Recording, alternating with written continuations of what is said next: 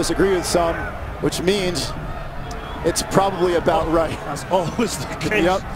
It's like a negotiation. If both teams walk away somewhat unhappy, then uh, you probably had a good, fair deal. Crew keeping a high line right, right on the edge of the box here, Brad. AJ Soares just unmarked at the present moment, offside. Have a, keep your eyes on him. Rose ball in. Oh, look at that! Davies will head it in and give the Revs a precious away goal and a lead in the series. 1-0 Revs.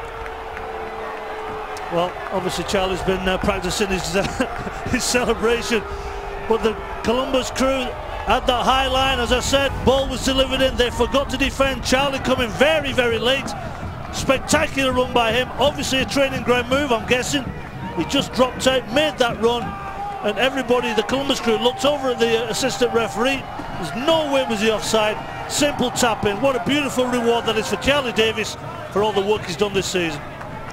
Just three goals and four assists for Charlie. You're talking about it before. He does so much more than just scoring. You know, we both saw him play as a youth player before he even went to Boston College. He came out of